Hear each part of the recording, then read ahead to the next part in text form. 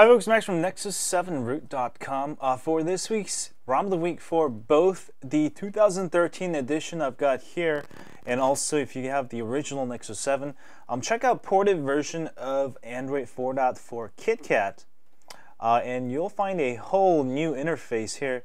Uh, about tablet, you see I've got Android 4.4 and you can go ahead and do a long press on both the K and the Android and you should be able to get the um, Easter eggs, the new Easter eggs. Um, so this is the new Easter eggs. You'll get a bunch of cupcakes, honeycomb, all that donuts, uh, all that good stuff. You can go ahead and swipe down um, to get out. Uh, now, what's what's new with uh, Android 4.4? Um, some of the major uh, features include printing. Now you'll be able to set up a cloud printer and print straight from your Android device. Uh, tap and pay. Um, also, there are a ton more features. Um, I actually have a, a, top 10 features list video. Take a look at that. I'll have it on my site.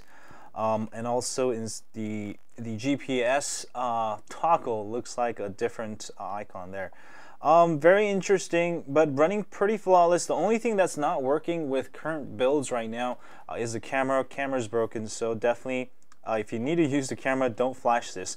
Um, this is one of the earlier builds. Uh, everything is actually working um, except for the camera. So definitely check it out. And it's got some cool uh, photo editing features now. Uh, a lot more uh, detail. It is currently available again for the original Nexus 7 and Nexus uh, 7 2013 edition.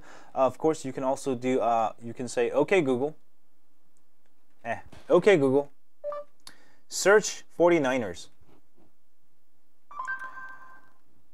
Um, you can do stuff like that, which is uh, really nice. Um, and uh, it has been designed to run on older devices. Uh, if you have an older Nexus 7, original Nexus 7, it's supposed to actually um, make it even faster and smoother. So definitely check it out for this week's ROM of the Week.